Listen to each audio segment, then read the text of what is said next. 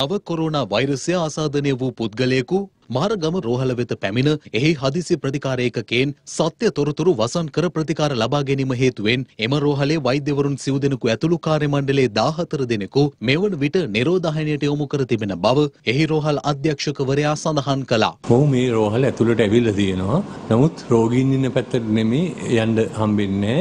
ඔහුගේ හදිසි ප්‍රතිකාරංශයට එතනට ගියාම එතන වෛද්‍යවරු මොහු බලලා සැකපිට මොහු කොවිඩ් 19 තියෙනවා කියලා මොහු හෝමගමට යවනවා සෙනසුරාද වෙනකොට මොහුගේ රිපෝට් එක එනවා කොවිඩ් පොසිටිව් කියලා. ඉතින් මෙතන පිළිකා රෝහල කියන්නේ ඊටාම ඒ කියන්නේ රෝග වලට ඔරොත්තු දෙන ශක්තිය අඩු පිරිසක් ඉන්න තැනක් ළමයි 150ක් ඉන්නෝ මේ ළමයින්ට බැල්ලාවත් කොරෝනා වැළඳුනොත් ඒක මාරාන්තික වෙන්න පුළුවන්. ඉතින් අපි ඊටාමත් තදබල ලෙස ආරක්ෂකකම අනුගමනය කරනවා. මෙහෙම මිනිස්සුන්ව දැනුවත් කරලා පරීක්ෂා කරද්දිත් මෙහෙම කඩාගෙන පැනගෙන මේ පොලිම කඩාගෙන ඉන්න මිනිස්සු ඉන්නවා. මේක ඇත්තටම මේ වගේ විශාල වරදක්. එදා වැඩ කරපු වෛද්‍යවරු හතර දෙනෙකුයි හෙද නිලධාරීන් හය දෙනෙකුයි තුළුසේකෙන් හතර දෙනෙකුයි නිරෝධායනය සඳහා යවන්න වුණා.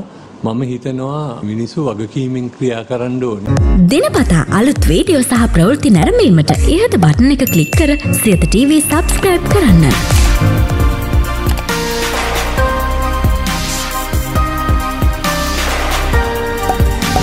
වීඩියෝ ගැන මුලින්ම දැනගන්න මෙම සීනුව ක්ලික් කරන්න.